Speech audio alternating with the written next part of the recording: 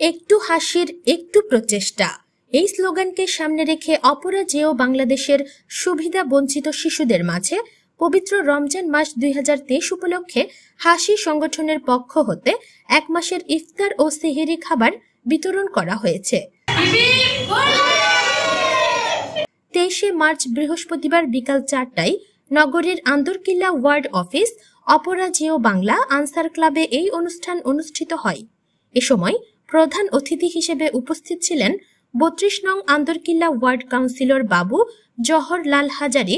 তাই আমি মুসিবতের মতো সবাই যদি একটু এগিয়ে আসি এই সমাজে আর অবহেলিত কোনো সন্তান থাকবে না অবহেলিত মানুষ থাকবে না।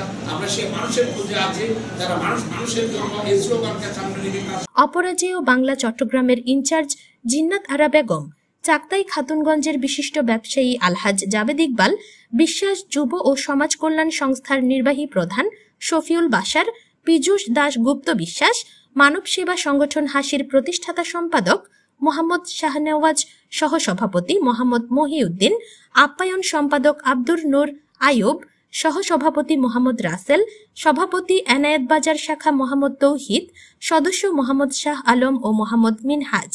সমাজ কীভাবে শিশুদের প্রতি আচরণ করে, তার মধ্য দিয়ে সমাজের চেহারা ফুটে ওঠে। মানবতার প্রধান শিক্ষা এটাই যে, দানের মাধ্যমে মানুষ কখনোই ফকির হয়ে যায় না।